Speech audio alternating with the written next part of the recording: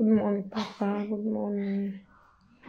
Good morning, Wonders Without Number family. My name is Charity from Germany. I want to return all the glory to God for what God has did in my life. Since I'm living in Europe, I have been having kind of negative dream, baba dream about my life. I've been seeing myself from the river, seeing myself from the village, following my mother to the farm.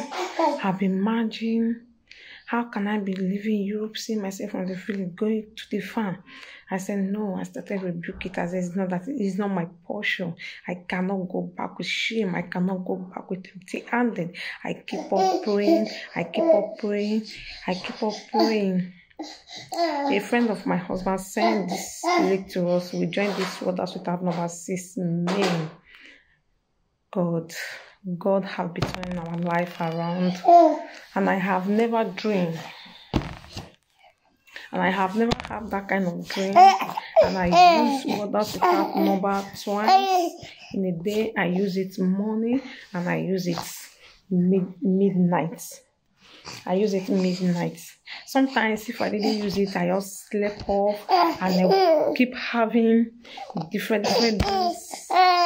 Some kind. Sometimes animal be pursuing me, masquerade, many things. I don't know. I was so very shocked and I was so I was so very confused. I said, No, this is not ordinary hard.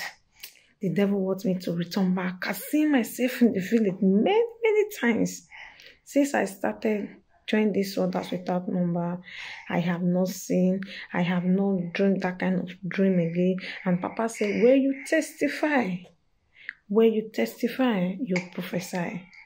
So I decide to not keep it, to say it out what God had done in my life. I am so very excited. I thank God that God has delivered me. And I know my time has come. The time of my children has come. Thank you, eh, eh. Jesus. Thank you, Papa. May God continue to lift him higher and higher in Jesus' name.